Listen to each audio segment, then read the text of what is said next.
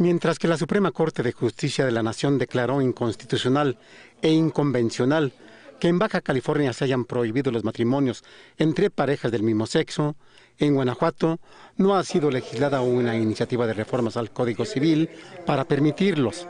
Pues mire, celebramos lo que aconteció en, Baja California.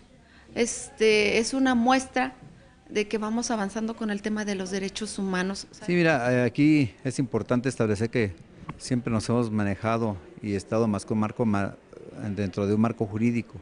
Somos un Estado de derecho, más no de hecho. Y cuando la Suprema Corte de Justicia de la Nación, que es la máxima autoridad nacional, en caso de resolución de algún juicio o de alguna situación inconstitucional, tenemos que acatarla. La propuesta para legalizar los matrimonios homoparentales fue formulada el 26 de febrero del presente año por la diputada perredista María Guadalupe Torrerea, y lo único que se ha hecho con ella fue turnarla y radicarla en la Comisión de Justicia. Guanajuato no se puede quedar atrás.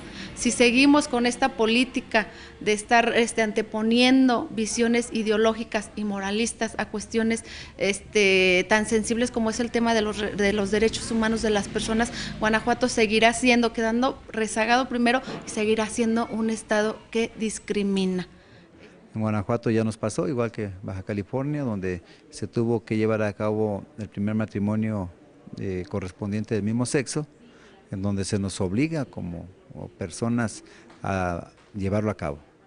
Hay que, hay que legislar, hay que analizar el tema muy bien, sin embargo no podemos estar fuera del marco jurídico, de lo que marca la norma federal y lo que marca la norma estatal en este caso, que es lo que tenemos que ahí meterle un poco de análisis.